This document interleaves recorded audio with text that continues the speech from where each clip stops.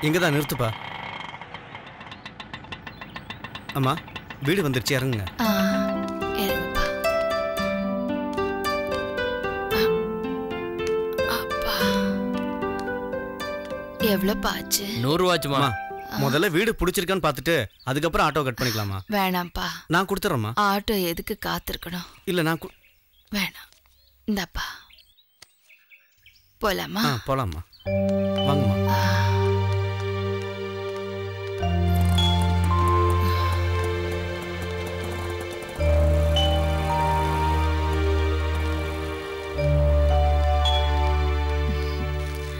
பசுமையா இருக்கு.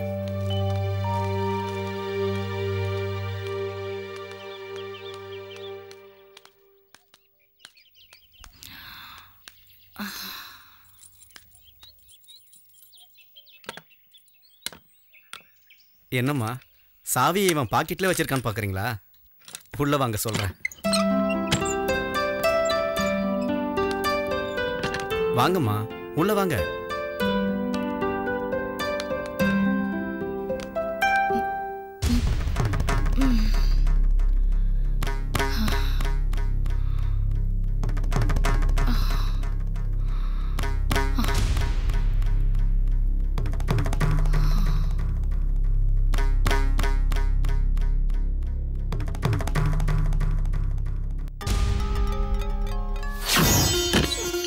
கொடி. நீ ஆசைப்பட்ட மாமனோட ஏழை வீடு இதுதான். வலது காலை எடுத்து வச்சு உள்ள போம்மா. ம்.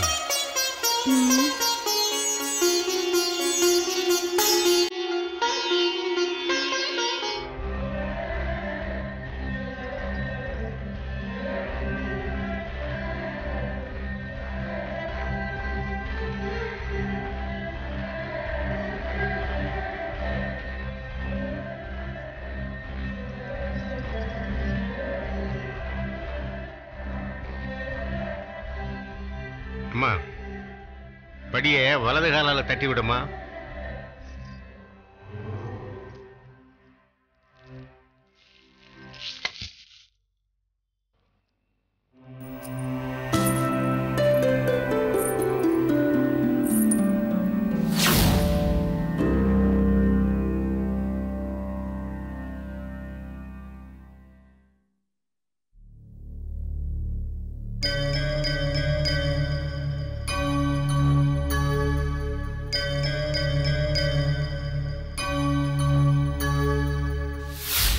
முத்துராசு இந்த பாலை நீ கொஞ்சம் குடிச்சிட்டு அன்னக்கொடி கொடுப்பா.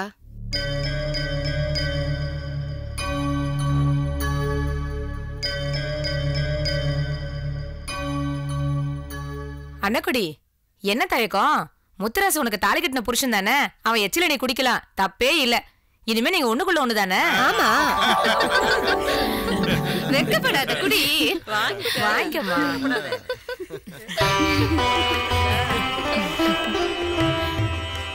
எல்லா பாலையும் குடிச்சிடாத. உன் புருஷனுக்கும் கொஞ்சம் மிச்சம் வையி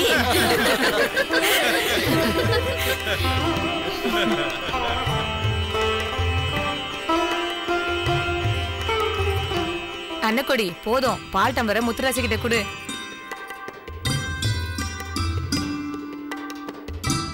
பொண்டாட்டி குடிச்சதை குடிக்க முத்துராசுக்கு ஆசையை பாரு. என்ன அவசரம்? முத்துராசு இந்த பழத்தை அண்ணக்குடிக்கு விட்டுப்பா அன்னக்குடி நீ ஊட்டுமா?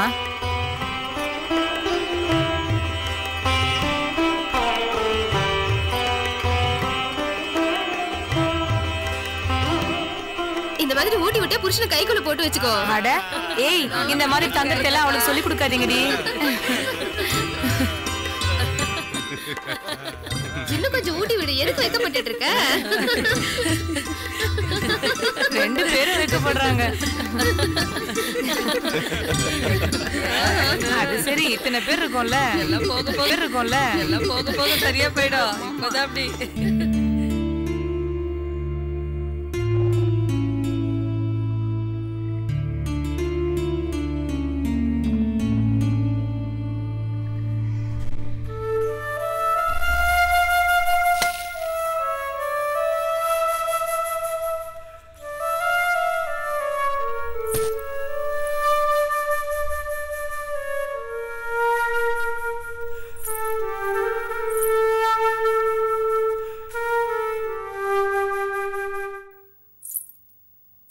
தாம்பூல பாயில ரெண்டு பேரும் உட்காருங்க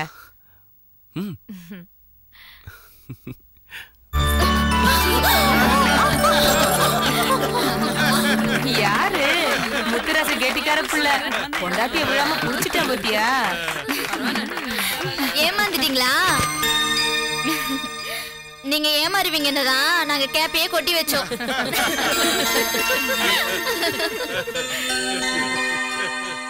நாங்க ஒண்ணும் ஏமாறல. நீங்க தான் ஏமாந்தீங்க. ஏன்னா நாங்க ரெண்டு பேரும் கீழே விழல. ஒருத்தரை ஒருத்தரை கை தாங்களா ஆதரவா பிடிச்சுக்கிட்டோம். ஆமா ஆமா புருஷன் பொண்டாட்டி ரெண்டு பேரும் ஒருத்தருக்கு ஒருத்தர் ஆதரவா இருந்தா எந்த சூழ்நிலையிலையும் புகுந்த வீட்டு பெருமையையும் பிறந்த வீட்டு பெருமையையும் கீழே விழுந்துடாம காப்பாத்திடலாம். அதை காட்டுறதுக்கு தான் அந்த சடங்கெல்லாம். என் பொண்ணு ரெண்டு வீட்டு பெருமையும் காப்பாத்திடுவா. ஆமா அண்ணக்கொடி. பிறந்த வீடு பூச்செடினா புகுந்த வீடு துளசி செடி. நாம தான் பத்திரமா பாத்துக்கணும்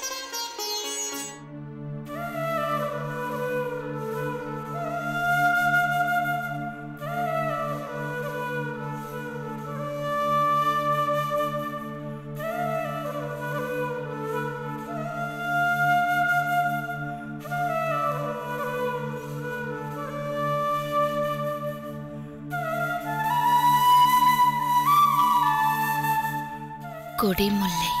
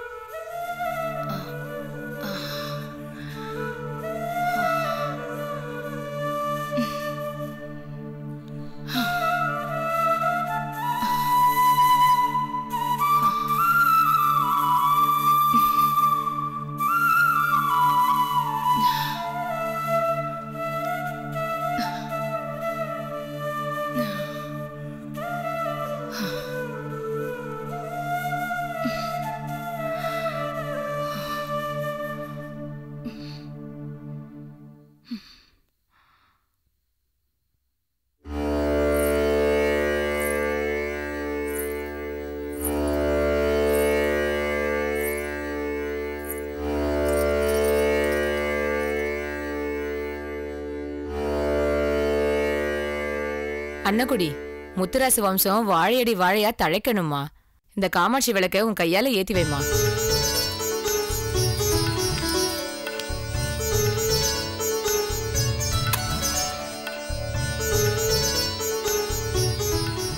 அப்படியே அந்த கற்பூரத்தையே ஏத்தி வச்சிடுமா?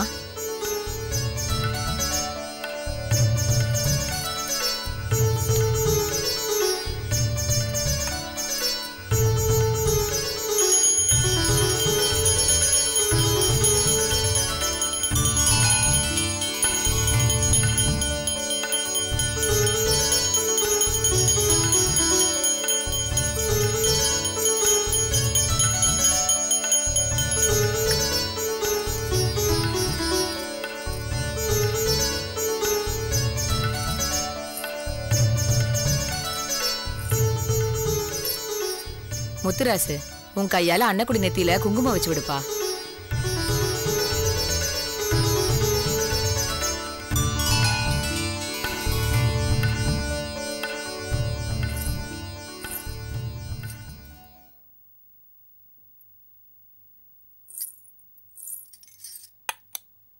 அப்பா கிட்ட ஆசீர்வாதம் வாங்குவோம்.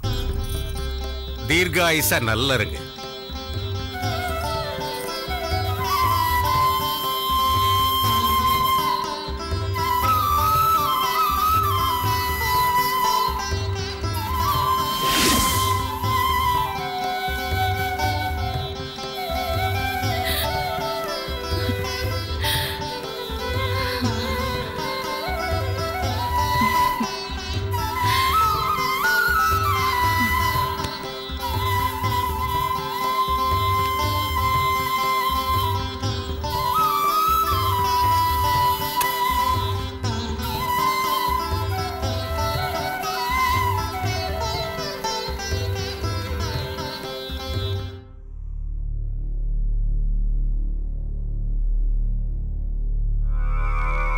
re ga re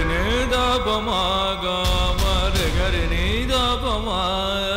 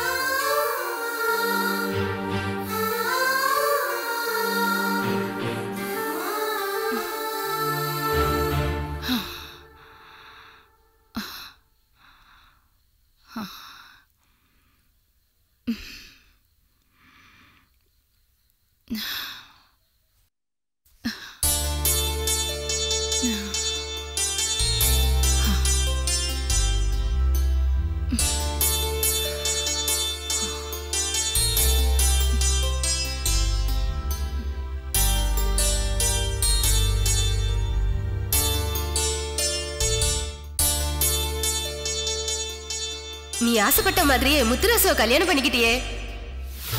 உண்மையிலேயே நீ அதிர்ஷ்டக்காரி தாண்டி.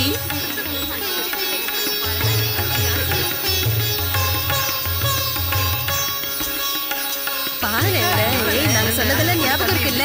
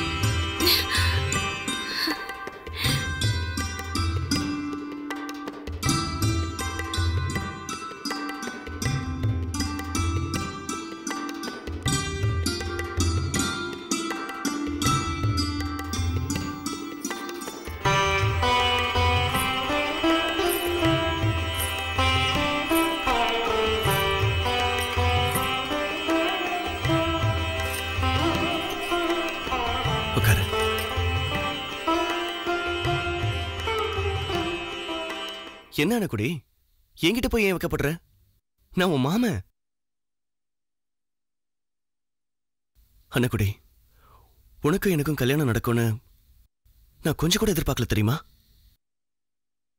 ஏன் அப்படி சொல்றீங்க? ஏன் நான் கேக்குற? நான் உன்னை விரும்புறேன்னு சொல்றதுக்கே ஆறு மாசம் ஆயிடுச்சு.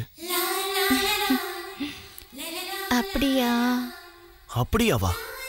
ஐயோ இப்ப அதை நினைச்சா கூட என் நெஞ்சில அப்படியே படபடன்னு ஆகுது தெரியுமா?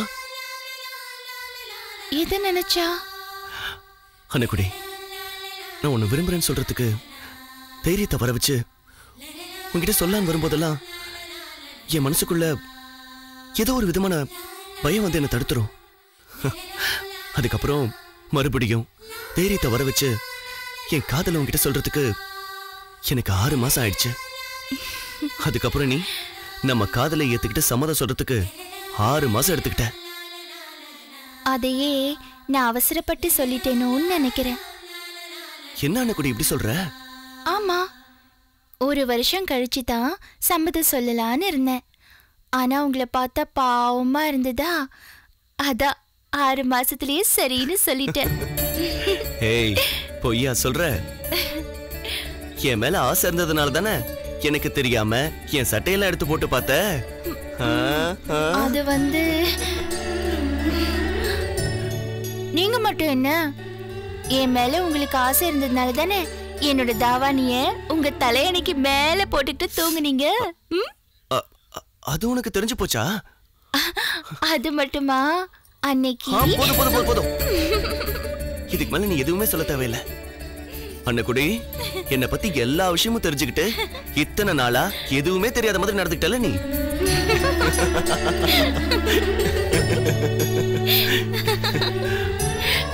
அண்ணக்குடி உன்னோட இந்த அழகான சிரிப்பு தான் என்ன மயக்கிடுச்சு. உங்களோட இந்த அழகான பேச்சு தான் என்ன மயக்கிடுச்சு. நான் பேச ஆரம்பிச்சதே அழக பார்த்து தானே? ஏப்பா முத்துராசு. என்ன பேசிக்கிட்டே இருக்க? இன்னைக்கு உனக்கும் அண்ணன் குடிக்கு முதல் ராத்திரிப்பா. இப்படி பேசிக்கிட்டே இருந்தா விடிஞ்சு போயிருப்பா என்ன பையன் பாடி பாட்டி இத்தனை நாளும் நானும் அண்ணக்கொடியும் இப்படி தனியா இருந்து ஒரு நாள் கூட மனம் விட்டு பேசினதில்ல.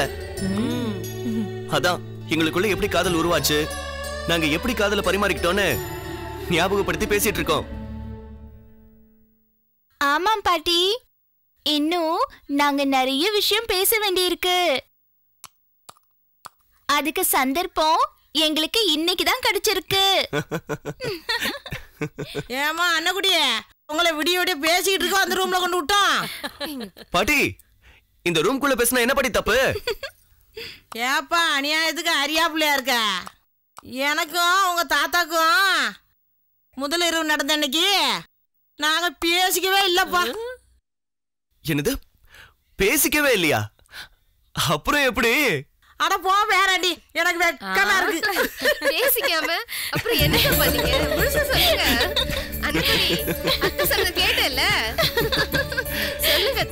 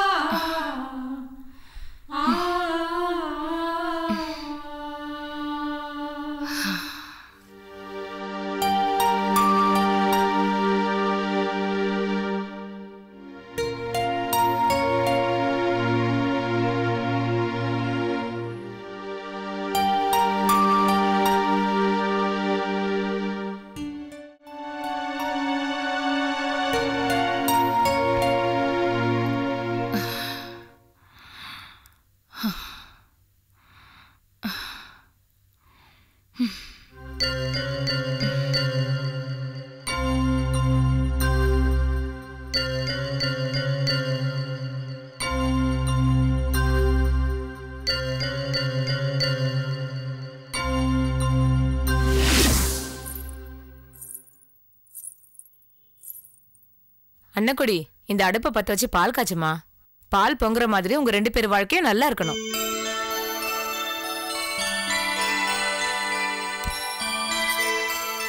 அட இது என்ன சிவப்பா சட்டி மாதிரி இருக்கு விரவு புள்ளியா? அத்தை அன்னக்குடி என்ன? நம்மள மாதிரி விறகடுப்பை பத்த வச்சு கண்ணை கசக்கிட்டு இருப்பான்னு நினைச்சியா என்ன? நம்ம அண்ணக்குடி கண்ணை கசக்கிட்டு கஷ்டப்படக்கூடாதுன்றதுக்காக தான் சிங்கப்பூர்ல இருந்து நம்ம ஐயா இதை வர வச்சிருக்காரு. நம்ம ஐயா நினைச்சா சிங்கப்பூர்ல இருந்து என்ன? அவர் நினைச்சா அமெரிக்கால இருந்தே எரியாம சமைக்கிற அடுப்பையே வாங்கிட்டு வந்து கொடுத்துருவாரு. ஐயா அன்னக்குடிக்காக என்ன வேணாலும் செய்வாரு.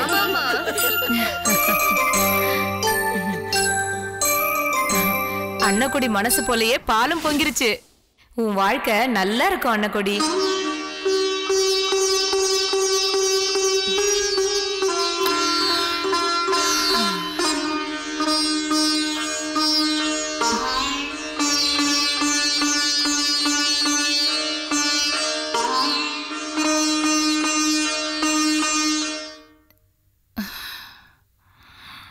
என்னம்மா? வீடு பிடிச்சிருக்கா? வீடு ரொம்ப லட்சணமா அழகா இருக்குப்பா. இந்த வீடு எனக்கு ரொம்ப பிடிச்சிருக்கு. அசல் கிராமத்து வீடு மாதிரி. எனக்கு கல்யாணம் ஆகி போன புகுந்த வீடு மாதிரியே இருக்குப்பா. ஆனா இவ்ளோ பெரிய வீட்டுக்கு வாடகை ரொம்ப அதிகமா கேட்பாங்களே. அம்மா நீங்கள் இந்த வீட்டில் தங்கிக்க வாடகைலாம் ஒன்றும் கொடுக்க வேண்டாமா? என்னப்பா நீ? முதல்ல குடியிருக்கிற வீட்டுக்கு அட்வான்ஸே வேண்டான்னு சொன்னேன் இப்போ வாடகையே வேண்டான்னு சொல்றியே. எனக்கு ஒன்றும் புரியலப்பா. இப்போதைக்கு இது என் வீடு மாதிரி தான் இப்போதைக்கு ஓம் வீடு மாதிரியா? ஆமாம்மா. நான் வேலை பார்க்குற ஓனருக்கு சென்னையில் நாற்பது கடைக்கு மேலே சொந்தமாக இருக்குமா. என்ன மாதிரி ஆளுங்க? எங்கள் ஓனர்கிட்ட நாற்பது ஐம்பது பேர் வேலை செய்கிறாங்க பெரும்பாலும் எல்லாரும் வெளியூர்காரங்க தாம்மா. நாங்கள் தங்குறதுக்காக எங்கள் ஓனர் இந்த மாதிரி வீடுகளை ஏற்பாடு பண்ணி வச்சிருக்காருமா இந்த வீட்டில் நான் தனியாக தாம்மா இருக்கேன். ஓஹோ. ஆ, அப்போ உங்க அம்மா அப்பா குடும்பம் எல்லாம் எல்லாரும் வெளியூர்ல தான் இருக்காங்களா? இல்லைம்மா. எனக்கு அப்பா அம்மா யாரும் கிடையாது. நான் சின்ன வயசா இருக்கும்போதே அவங்க இறந்துட்டாங்கம்மா. எனக்கு கூட பிறந்தவங்கன்னு சொல்லிக்க ஒருத்தர் கூட இல்லைம்மா. சுருக்கமாக சொன்னா நான் ஒரு அனாதம்மா.